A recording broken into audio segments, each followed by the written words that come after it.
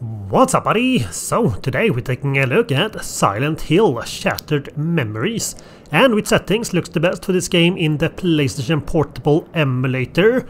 So uh, yeah, we're starting here with the default settings which, well I would say this looks pretty alright. It's, uh, it's quite pixelated and uh, well I guess uh, that also blends a lot of things here so that's not always a bad thing.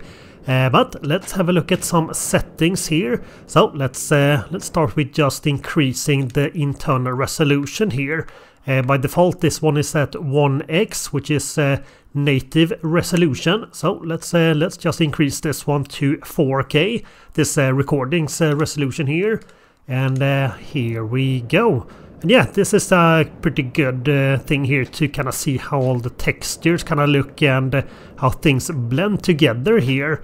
And uh, well, for uh, for games like these on the PlayStation Portable, uh, textures are usually not amazing. And uh, well, some textures are a lot worse than others, like this tree here. Yeah, doesn't exactly look amazing there, but well, I would still say it's still it's not the worst here in terms of kind of consistent graphics here. Uh, but I don't think this looks amazing. I think we could do a little bit better here.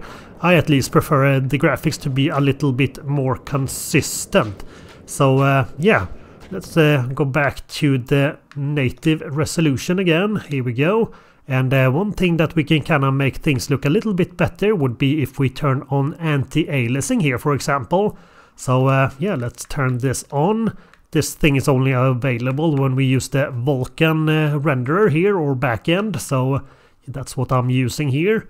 So here we go. So yeah, now we still have a little bit better kind of detail or we don't have it as pixelated here, but it's still still quite blurry. And uh, well, this is usually what I uh, often prefer here for 3D games. It's uh, it's uh, kind of things kind of blend in pretty well here, so I think that looks pretty good. Uh, but this is not, on the other hand, my favorite settings for this uh, game here. we can also have a look at some other things. So we can, for example, increase the resolution a little bit here or rendering resolution. So if we do that, we will not just increase this one to 2x. It is uh, still somewhat blurry, but not as much. And uh, well, we are starting to see kind of all the defects here with the with the textures and stuff like that, but it still blends in pretty good here, especially compared to how it was when we just went with uh, with 4K internal resolution. So uh, yeah, this still looks alright. I think I would prefer it to be the previous one there where it's a little bit more blurry. But there is one way we can still get a little bit more blurriness, uh, blurriness but not as much. So we, if we go into settings and go into display layout and effects here, we can turn on other effects here. So here we also have anti-aliasing, so we can have two of these uh, running the same time here. It's not perfect when we turn on this. Here we go. Things are a little bit blurry still here, uh, but I think this looks very nice.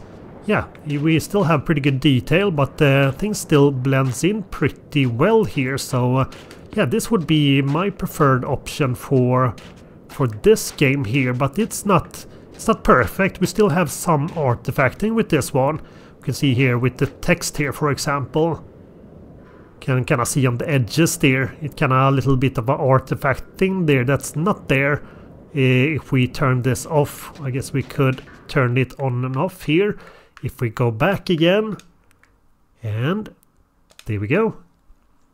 And yeah, as we can see, the, the text was a little bit clearer, and uh, yeah, we don't have that artifact in there, but uh, I think still that uh, I don't really mind that. It's it's uh, still a pretty small downside there, and uh, things still blend in pretty well. So uh, yeah, I would still I would still like that option there.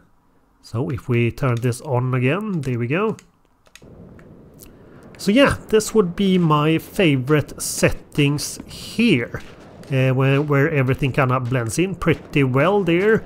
Uh, and uh, also one thing to mention here that's pretty handy for this emulator is that you also can save all the settings here. So if we are happy what we have here, we can go into create game profile here. So yeah, next time we start this game again, this these settings will be there again. And yeah, have a look again here. We are going with 2x resolution and also this 8x uh, anti-aliasing here and also this here as well. So uh, yeah, this would be my preferred settings for this game. I Well, I guess this will be it for this video. You all stay awesome and I see you in the next one. Bye bye.